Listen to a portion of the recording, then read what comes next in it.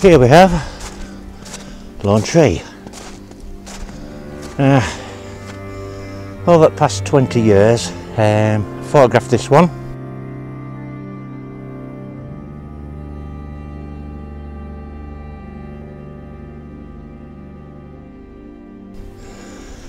Uh,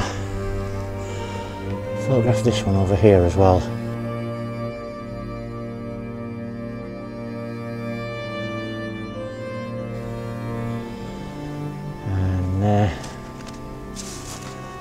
I'm going to go do this one and hopefully that's going to turn into a sunset within the next uh, 13 minutes.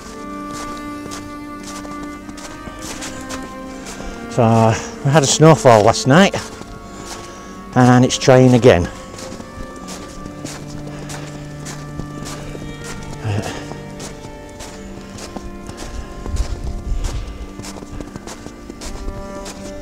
It's a nice big sycamore.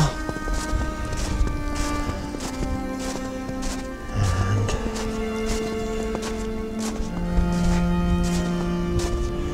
photographed it back in it were 96 98 somewhere around there.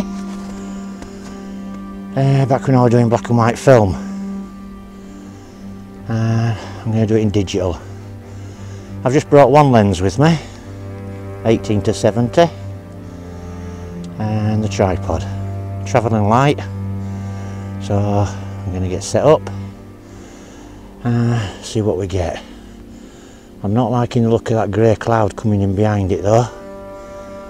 It's not doing good at all. It's just drifting across over there. And it looks like it's going to obliterate any chance of a sunset tonight. Not having much luck with this tree. It's my third visit over the past two weeks. Uh, not having much luck, so I'll see what I can get.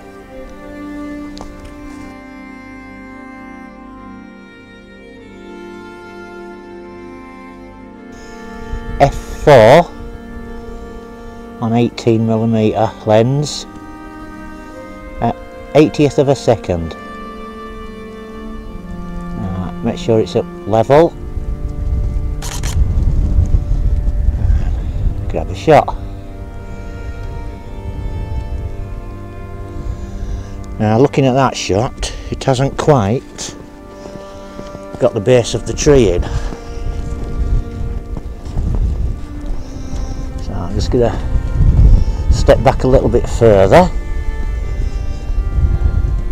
get some more foreground in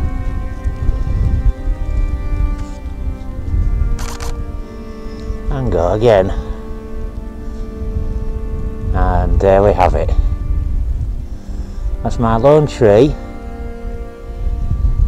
for the lone tree challenge on landscape photography on YouTube UK.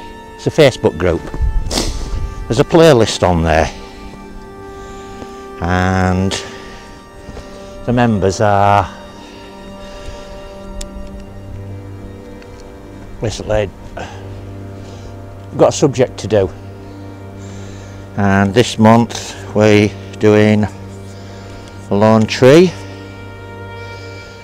And so there will be lawn trees from all over the UK featuring on this month's playlist. So check them out and see what you think well that's me. Absolutely frozen. And calling it a do. Catch you on the flip side. Start to walk away because of the weather. And the snow clouds blew over. So I've come back and getting some nice colour in the sky. Uh, put a couple of neutral density filters on